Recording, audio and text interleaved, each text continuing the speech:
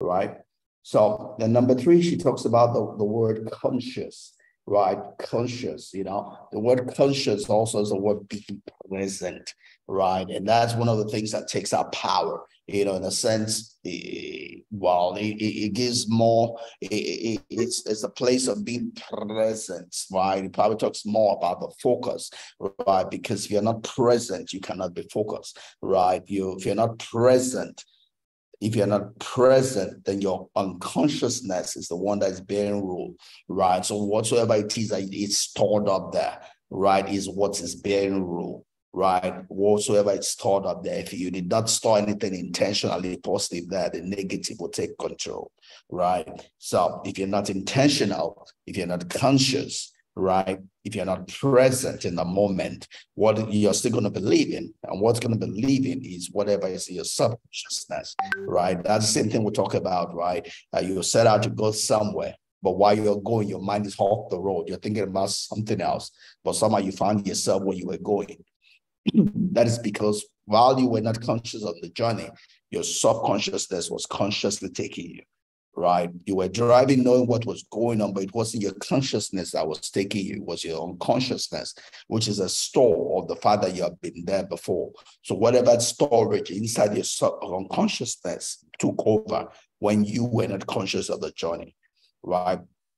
The challenge is, is a function of whatever it is that you've stored there. If you've stored positive there, you will get positive. If you've stored negative in your unconsciousness, that's what you will get.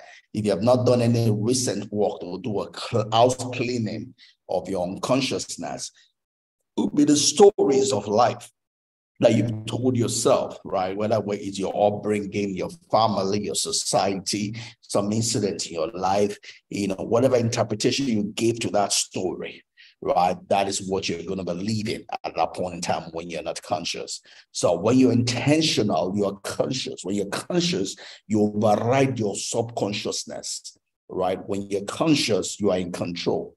When you're not conscious, your unconsciousness is in control, right? So it's up to you to decide what you want to live in the moment, right? So the intentional takes you to be to use your conscious your conscious mind right? Which involves your willpower, right? You thinking and looking at the facts at hand, right? So, so it's conscious planning of steps needed to get there. So you're, you're, you're consciously planning what it takes to get there. You know, like I said, that's what was missing in the meeting yesterday.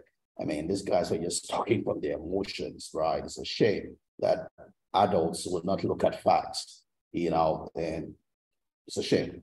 Anyways, uh, conscious planning of steps needed to get there. How will you accomplish your goals? Gather your thoughts before you begin on walking towards the goal. Yes, you may need to revise as you go, but you can only know correction, modifications if you have taught the journey through. You know, just to re- rehash what some of the things spoke along that last week is the fact that, you know, when we plan, it's not because we think that everything will happen the way we planned it. No, no, no. You know, there's that popular, popular quote by the Prussian, uh, 17th century Prussian uh, general, you know, and also quoted by uh, Desert, Desert, Desert Fox, was the Field Marshal, Java Field Marshal. Um, you know, the first thing that will happen when your plan hits reality is that it will find out that it needs to change, right? But it's better for you to have a plan than for you not to have a plan, right? When you have a plan and you're planned, when you when you hit reality, it's easier to modify a plan you have than to just start planning at the time reality hits you. That is the difference. I mean, reality will never match one to one your planning scenario. That is okay. But some people don't plan just because of that. That's foolishness, right? Because it's better to have a plan you can adjust than to start planning just when reality hits, right? You're going to lose a lot. You, you're not going to plan well because if you do that, you, you get into what we call a tunnel vision, right? When you are in crisis, right? And you're trying to plan in crisis, your brain locks up to whatsoever it hits first.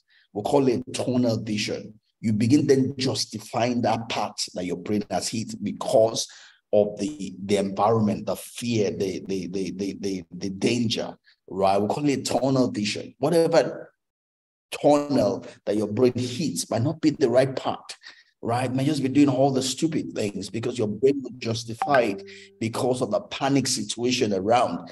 And that's why a lot of people die more from fear than the actual incident when there's a crisis, right? It's just like we had when the Twin Towers, right, were hit by those planes. You had people jumping from windows. You know, why would people jump from windows?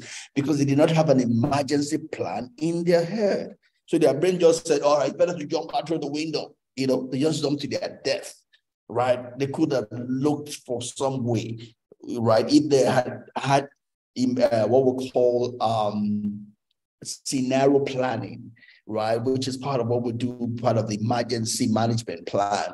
You you you you we call them drills, right? You, you do scenario planning. If this happens, what we do? If that happens, what we do? When you have that that your mental model, it's easier to key into that mental model, which is a plan, right? Than you start planning just when um, the, the crisis hits. Because it's called tunnel vision, right? You, you once you get into that tunnel, you, don't look at facts anymore, right? It's like people that, that go into arguments, right? They don't look at facts. It's all about win, win, win. You know, at that point in time, you're trying to win with yourself right? But then you might just be locked in into the wrong rule and you begin to make one mistake on top of the other, right? it doesn't get you into safety, right? But when you plan, you do scenario planning, scenario planning, right? You have mental models of what I might do.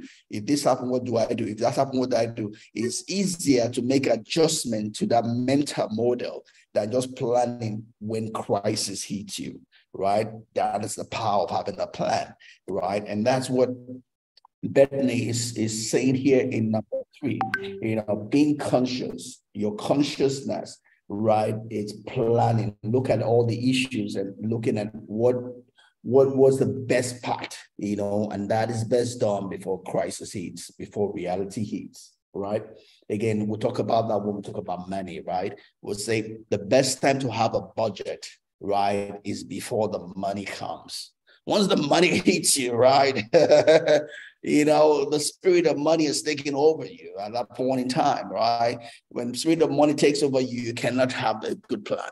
You're going to have to come into a tunnel vision also, right? Because the spirit of money has, has hit you.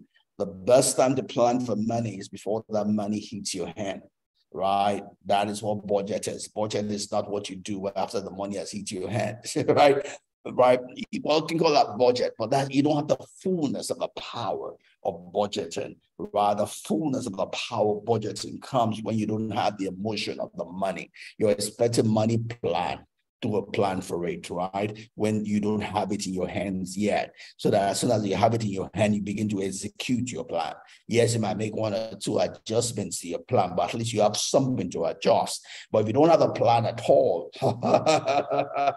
that will you almost I can almost assure you you're not going to spend that money well right? Because you've been making emotional decisions, right? Money has emotions, money is a spirit, right? So if you the way we control the spirit and the emotion of money is having a budget. And that budget is best done before the money comes into your hands, right? So another reason why we need to be conscious, right, in intentionality, right? It, it's about planning, right?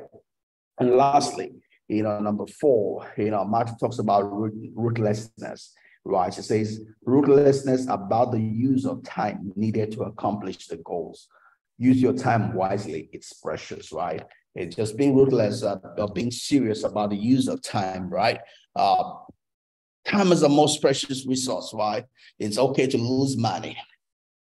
Right? You can get the money back. I can tell you that for sure. Uh, you know, I've been two depressions. I've lost a lot of money, you know, but I made them more back. But making money is not a problem.